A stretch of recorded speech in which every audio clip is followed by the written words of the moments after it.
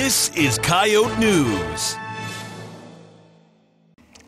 And welcome back. The Coyote women's basketball team continued last week to prove that they deserve the place in the national polls.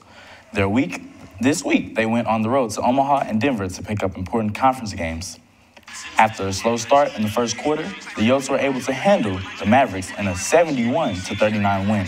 The victory gave head coach Dawn Plitzuweit her 100th win at USD. Madison McKeever also tallied her 1,000th career point for the Yotes. Taylor Frederick led the Yotes with 20 points, and Ciara Duffy scored 14. The Coyotes then traveled to Denver, picking up yet another conference win over the Pioneers. Duffy led the Yotes with a career high 31 points, followed by Chloe Lamb at 18. The Yotes remain undefeated in Summit League play. They travel to Grand Forks next Sunday to take on North Dakota. The Yotes will return home for a break in conference play, facing off against NAIA opponent Peru State. USD was heavily favored coming into the game, but the Bobcats were able to hang on for a few minutes, just long enough for Devin Cawley to slip past Cody Kelley for the lay-in. But from there, it was all Coyotes. Kelley would get his revenge on the next possession, getting the out pass and knocking down the three ball.